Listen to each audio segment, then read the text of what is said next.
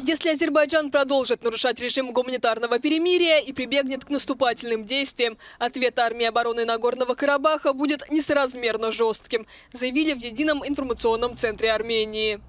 Ереван обвинил Баку в том, что он продолжает наносить ракетно-артиллерийские удары по населенным пунктам и обстреливать гражданскую инфраструктуру, несмотря на договоренности о гуманитарном прекращении огня.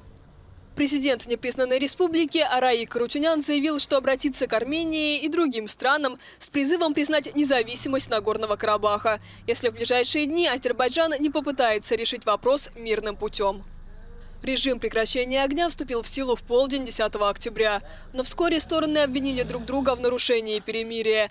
Армения заявила, что Азербайджан держит под ракетным обстрелом Степанакерт, Гадрут, Мартуни и другие населенные пункты и распространяет лживые сведения о том, что подразделения армии обороны обстреляли город Генджа.